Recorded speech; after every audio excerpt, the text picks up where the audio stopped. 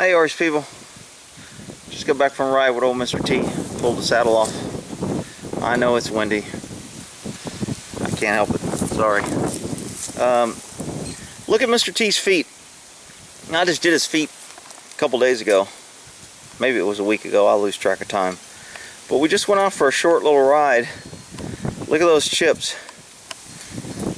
Okay, so, um, natural chips are going to happen. It's not the end of the world. I mean, there's a couple in there that I'm kind of like, well, that looks like pretty good chip. But where we were riding, um, there was a lot of rocks and deep dirt, and his feet were sinking pretty deep. So it's going to chip up the feet a little bit. Not the end of the world. Uh, that looks like almost a little flare chipping off there. But in the wild, horses would, uh, this is called natural sculpting, and they would, uh, this is how they trim their feet in the wild.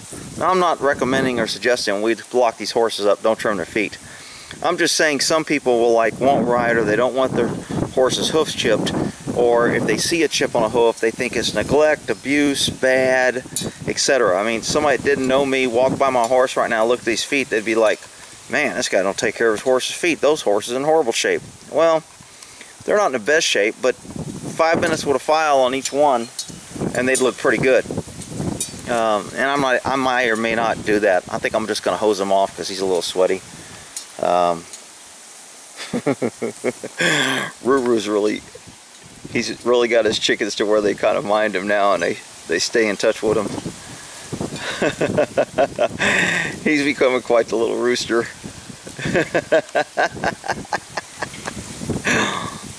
so, um, anyway, when I ride I'm gonna, I'm gonna groom him up. And again, if you get horses like this with little hoofs, and you see a horse like this, it's not necessarily neglect, abuse. Um, you know, somebody's to say, see, that's why horses need shoes. A horse with shoes wouldn't do that. Yeah, a horse with shoes, though, would be get 10 times the pounding, and, um, you know, you got holes in his feet, so you compromise the hoof wall, and you get dirt, moisture, rot, all kind of crap where the nails go in. If the nail goes in wrong, you get a hot nail. Uh, the pounding, I mean, they've done several scientific studies on, on the pounding of a, you know, and I always tell people, if you don't think horseshoes are dead, bad, put a metal plate in the bottom of your shoe and then go walk around on concrete and uh, see how your legs, shins, joints, and everything feels because all that uh, compaction and impact is just transferred to your bones, tendons, joints. So uh, this is much better than having a pretty shod, shod foot. Um, now, of course, you ain't going to be able to tell that to these damn little show people who are all concerned about impressing the judges and impressing everybody else and spend a million dollars to win a two dollar ribbon. But uh, this this this horse is just uh, again they were really dry. It's been a dry season here. Uh, a little bit of moisture because they're so dry. They're probably a little bit more brittle. And because I was riding them in a pasture um, that had really deep, fresh ground up dirt, there was rocks in there. So as he sunk down the dirt, these rocks were hitting his hoofs and kind of chipping them a little bit. And again, it's not the end of the world. I'll, uh, I may take a little Rasput real quick and just round it off.